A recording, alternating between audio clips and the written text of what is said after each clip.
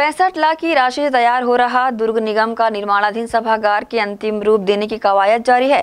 महापौर ने एमआईसी सदस्यों के साथ भवन का लिया जायजा। दुर्ग नगर पालिका निगम परिसर में पैंसठ लाख की लागत से निर्माणाधीन नवीन सभागार के कार्य का अब अंतिम रूप दिया जा रहा है, जिसको लेकर दुर्ग महापौर धीरज बागलीवाल ने सभापति राजेश यादव, लोक कर्म प्रभारी अब्दुल गनी, वित्त विभाग दीपक साहू, जल कार्य प्रभारी संजय कोहले, भोला महोबिया सहित अन्य पार्षद के साथ निर्माण कार्य का अवलोकन किया।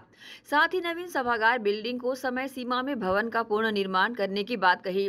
इस दौरान ठेकेदार को उन्होंने भवन निर्माण में गुणवत्तापूर्ण निर्माणाधीन करने के निर्देश भी दिए। इस दौरान लोक कर प्रभारी अब्दुल गनी ने बताया कि नगर निगम के नव निर्माणाधीन सभागार का कार्य प्रगति पर है। लगभग अगस्त तक कार्य पूर्ण होने की निश्चित समय तय कर ठेकेदारों को आवश्यक दिशा निर्देश दिए गए हैं। उन्होंने बताया कि सितंबर माह के भीतर लोकार्पण कर सामान्य सभा का आयोजन, निर्माणाधीन नवीन सभागार भवन में आयोजन किया जाएगा।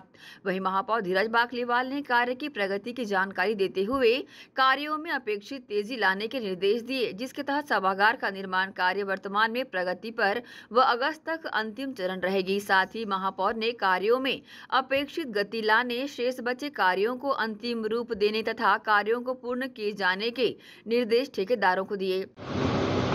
कांग्रेस के महापौर बनने के बाद नगर निगम दुर्ग की आवश्यक सभागार की आवश्यकता महसूस हुई, क्योंकि हम लोग समान सभा अन्य स्थलों में करते हैं। बीस साल के पूर्व महापौरों के कार्यकाल में सभागार के लिए कभी भी कोई सोचा नहीं।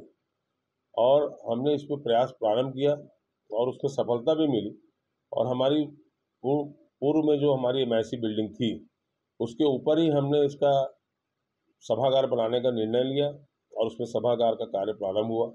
शासन के माध्यम से हमें करीबन इसमें पैंसठ लाख रुपए मिले, जिसमें से हमने तिरपन लाख रुपए का स्ट्रक्चर के लिए ठेका किया।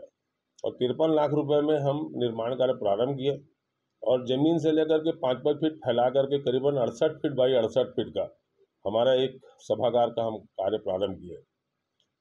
थोड़ी सी देरी हुई है ज़रूर, लेकिन समय हम लोग का ये उद्देश्य है कि जल्द से जल्द वो पूरा हो जाए और अभी कार्य प्रगति पे चल रहा है और अब अपना मूल रूप लेने में वो सफल होते जा रहा है और अपना मूल रूप में आते जा रहा है।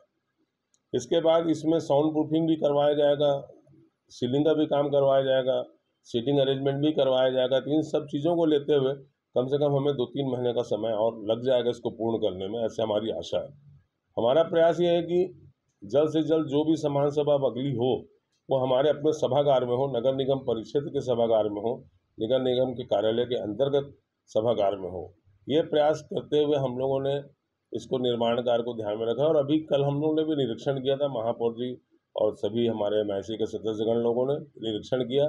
कार्य प्रगति पे है और हमें उम्मीद है कि ठेकेदार जो है, वो कम से कम पंद्रह दिन के अंदर में हमारे को कार्य पूर्ण करके देगा और फ्रंट एलिवेशन जो है, वो हमारा और पंद्रह दिन मान के चलें कि उसमें पूर्ण हो जाएगा।